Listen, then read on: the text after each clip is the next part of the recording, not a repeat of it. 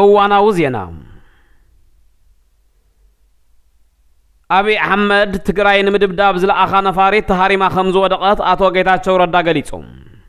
እቲ ኣፅዋር ኣብ ዝርከቦ ከባቢ ክድብድቤ እናበለ ክፍክር ዝቐነየ ኣብዪ ኣሕመድ ሎሚ ትግራይ ንምድብዳብ ዝለኣኻ ነፋሪት ብፀረ ነፈርቲ ሓይልታት ትግራይ ተሓምሻ ከም ዝወደቐት ኣባል ፈጻሚ ኣካል ህወሓት ጌታቸው ረዳ ንህልው ኩነታት አመልኪቱ ኣብ ዝሃበ መግለፂ ጠቂሱ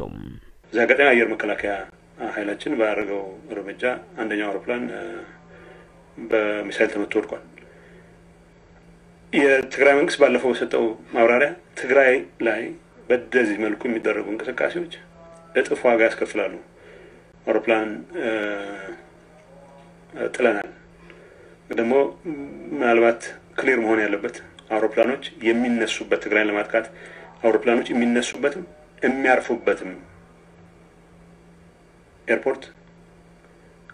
ከትግራይ መከላከያ ኃይል ጥቃት ቀጠና ውጭ ሊሆኑ እንደማይችሉ መታወቅ መቻል አለበት። ኣብዪ ኣሕመድ ነቲ ቅድሚ ገለ ኣዋርሕ ኣዴታትን ህፃናትን ዝቐዝፍ ኩናት ክህሉ እዩ ዝበሎ ቃል ይፍፅም ከም ዘሎ ድማ ኣረዲኡ ንሱ ወሲኹ ጀነራል ብርሃኑ ጁላ ክሳብ ሽረ እንዳስላሴ ተቆፃፂርናዮ ኣለና ምባሉ ከም ዘገረሞን ካብ ሓደ ወተሃደር ዘይትፅበዮ ጂኦግራፋዊ ኣፍልጦ ዝጎደሎ ውፁእ ሓሶት ክብል ገሊፅዎም